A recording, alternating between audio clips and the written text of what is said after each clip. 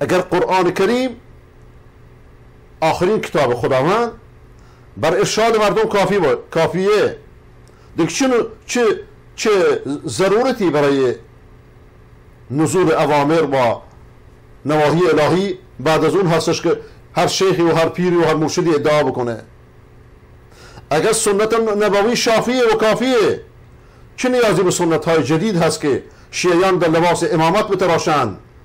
و همه رو معصوم بدونن دوازده رو. و بعد صوفیان در لباس درویشی و قلندری و مرشد سنت های جدید بتراشند. همه این بازی ها مردم از قرآن دور کرده از سنت نبوی دور کرده. اگر این هایی که شما میگید اینها سنت های پیغمبره با روش پیغمبر مخالفه. چرا پیغمبر به مردم یاد نداد؟ اگر پیغمبر ادای امانت کرده که کرده. اگر پیغمبر تبلیغ رسالت کرده که کرده چرا این حرفایی که شما میزید نزده؟ و ما هو علی الغیب بدانین اون اون چرا که از غیب می‌دونه بخل میورزه. چرا اون چرا که شما می‌گوید پیغمبر نگفت به یارانش نگفت به شاگردانش نگفت؟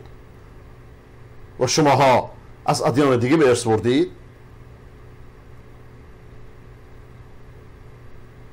آیا رسول خدا علیه السلام قرآن رو بیان نکرده بطن بطن گذاشتش که بعد از اون نیاز به شیعیان و صوفیان باشه که بیان با هرتقات خودشون با محملات خودشون با قرآن اضافه بکنن؟